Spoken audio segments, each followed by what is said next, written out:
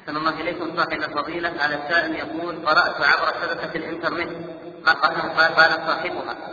إن المظاهرات من السنن الشرعية وإن النبي صلى الله عليه وسلم وصحابته قد سبق أن قاموا بهذه المظاهرات وأن الذين لا يرون المظاهرات يقدمون من أجل الخوف على مصالحهم وبلادهم فقط. فهل هذا الكلام صحيح؟ هذا كذب هذا كذب على الرسول صلى الله عليه وسلم. على على أصحابه لا كانوا يستعملون المظاهرات. هذه من أعمال الكفار. كما أيضا ماذا تفسي هذه المظاهرات؟ لا تحق حقا ولا تبطل باطلا. وإنما هي فوضى. إنما هي فوضى. وليس فيها حق ولا رد. باطل وأما نسبتها إلى النبي صلى الله عليه وسلم واصحابه فهذا وأما قول يمنعونها يخافون على من خالفهم فحسبه الله. حسبنا الله ونعم